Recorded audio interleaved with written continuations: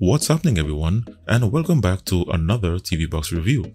It's been a while since we have heard from the Allwinner chipset and today they have re-emerged in an all-new TV box called the X98H Pro.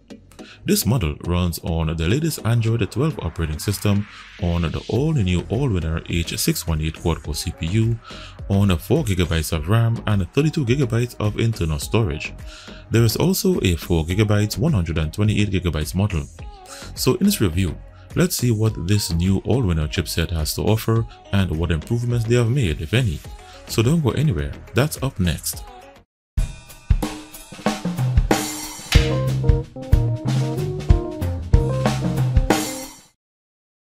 and welcome back. In the box you have your standard TV box contents consisting of the TV box itself, one infrared remote, one HDMI cable, a 5 volts 2 amps DC power adapter, and your user manual. So the box has an all plastic design with a honeycomb pattern and the product branding to the top.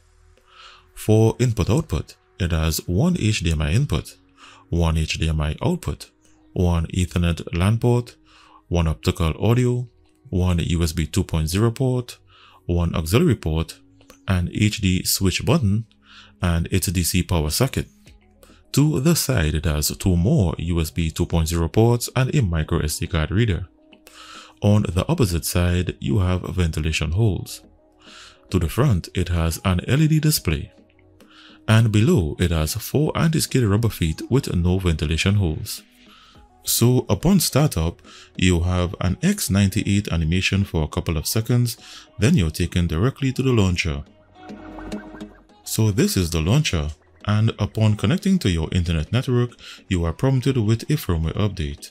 So I'll complete the update and continue.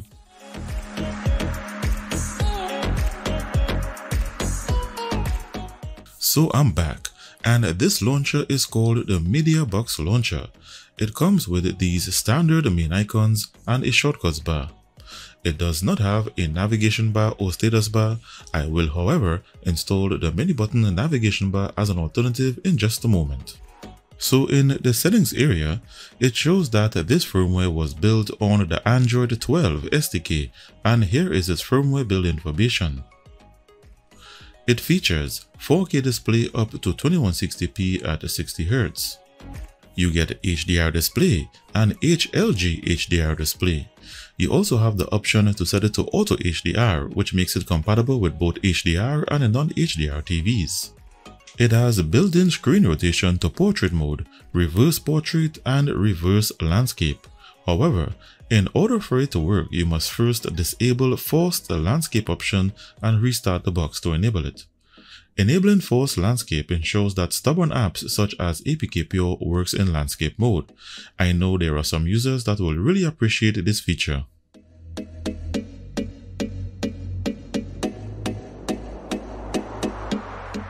There is a section under display where you can select to manually disable certain display formats. In this section also shows that the box does not have Dolby Vision and HDR10 Plus formats available. It has HDR10 and HLG. It has auto frame rate switching. For audio, you have the option to enable audio pass-through and under advanced options, you can auto-select or manually select which surround sound formats you would like to enable. Under inputs, you have HDMI CEC options and it comes in 54 various languages. There is no root switch, power key definition options, or built-in hardware monitor feature. For pre-installed apps, these are what it comes with. I've already logged into my Google account without issues and you have full access to the Google Play Store without any weird restrictions. So let's now take a look at its system and hardware information.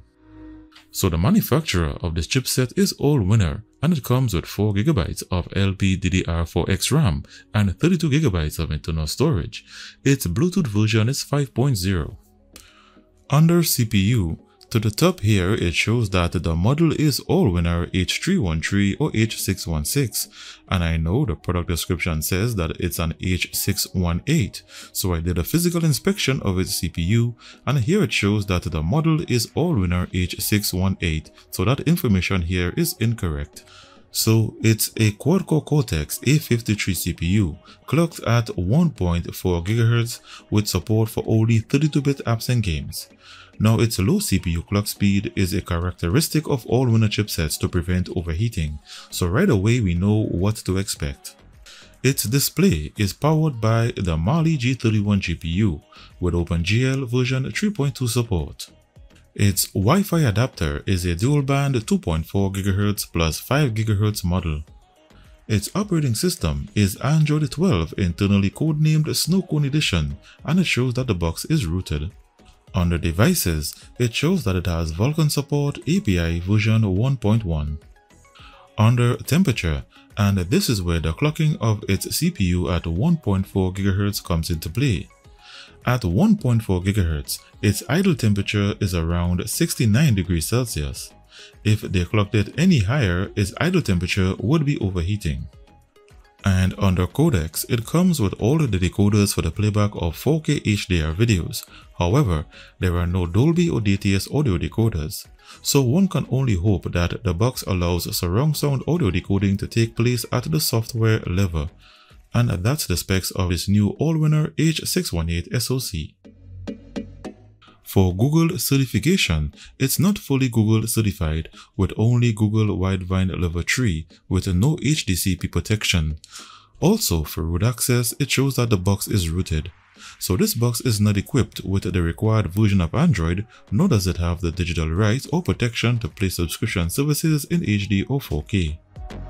For watching YouTube videos, it comes with the Android TV version and you can also install the mobile version from the Play Store.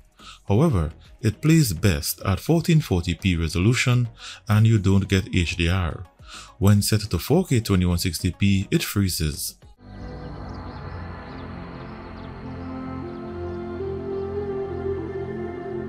For mobile screen mirroring, it comes with a Miracast receiver app However, it does not work, so you will have to resort to using the AirScreen app.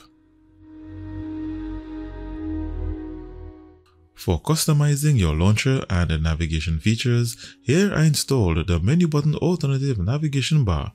However, the recent apps feature is not working. I also installed the ADW Launcher 2 alternative launcher and you have long click menu pop-ups and drag and drop shortcuts. It also allows you to install custom wallpapers and live wallpapers.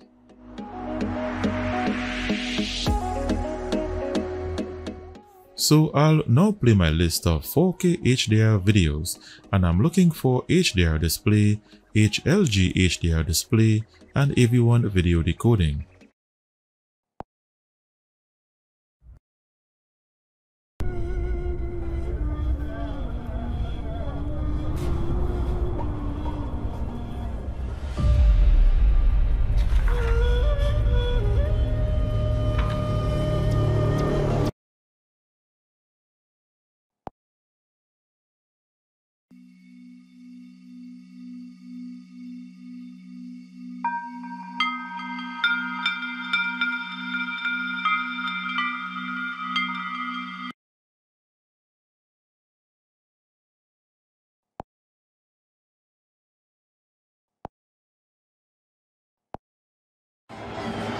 And only a win for Barca would be enough because it would give them the same number of points as Atletico, but the head-to-head -head goal difference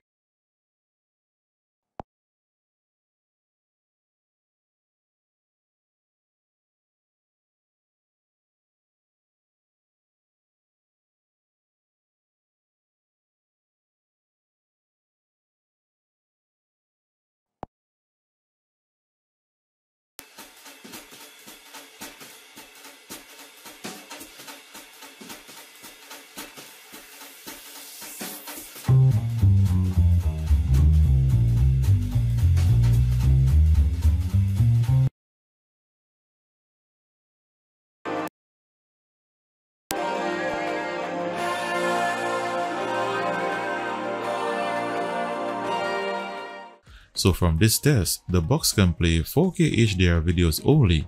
It cannot play HLG, HDR and AV1 videos. So we already saw that it does not have any Dolby or DTS surround sound audio decoders. So I'll now test to see if we can achieve these formats using software decoders from the media player.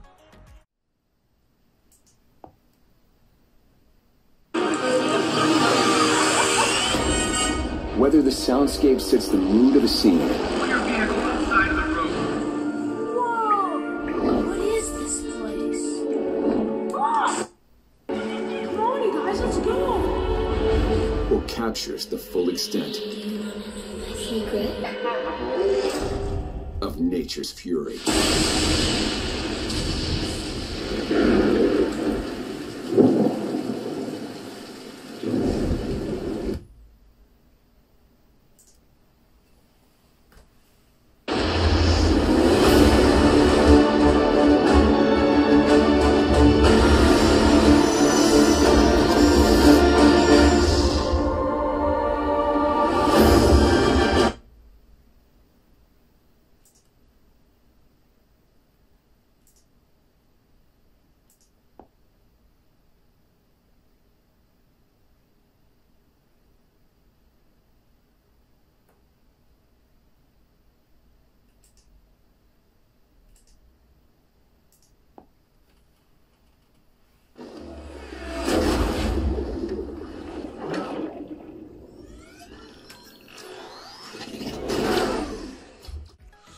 So using software decoders, I got Dolby Atmos, Dolby Digital Plus, and a DTS Neural X.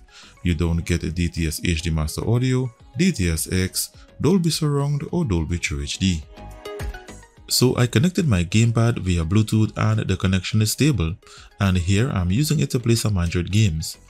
Now gaming on this box is somewhat interesting because I was expecting the graphics to be slow and lacking quality. I was also expecting it to overheat way above 90 degrees Celsius. Surprisingly, on medium graphics settings, the gameplay is smooth and its temperature remained in the high 80s, so at 1.4 GHz it's not too bad.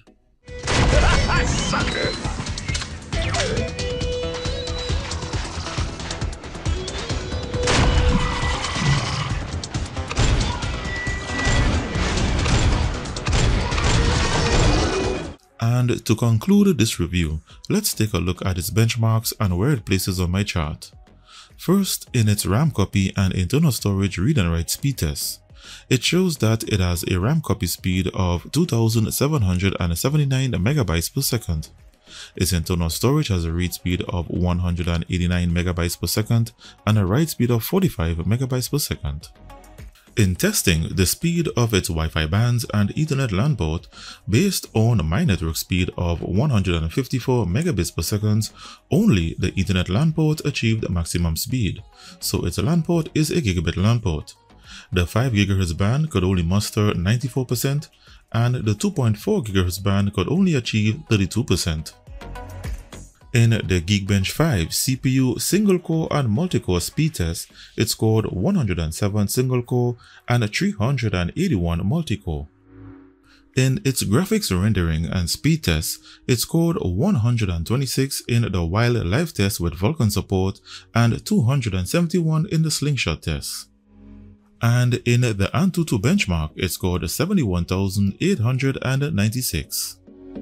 So when I entered the scores on my rankings chart, the X98H Pro is currently at position 74 based on its Antutu performance benchmark and it received a 3 out of 5 star rating.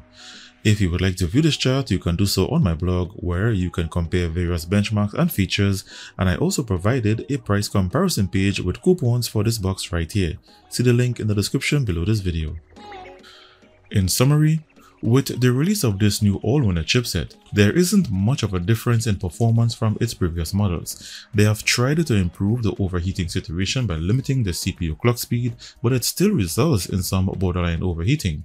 Overall, I would say it's better than all of their previous models and it works great to stream movies and TV shows from Kodi and streaming APKs. It's not a certified model, so don't look for subscription services in HD and 4K. And keep in mind that it does not come with any surround sound audio decoders at the hardware level. One thing they left out in this firmware is an app to utilize the HDMI input port for recording. So friends, that brings to an end of this review. If you are interested in this model, it's currently available for only $39.99 using the link in the description. And if you would like more buying options, you can check out the price comparison page. So thanks for watching and to support this channel give this video the thumbs up as it helps with the ratings. And if this is the first time you're viewing one of my videos then be sure to click that subscribe button and ring the notifications bell before leaving to be notified each time I release a new video or decide to do a giveaway. Stay tuned and see you in the next one.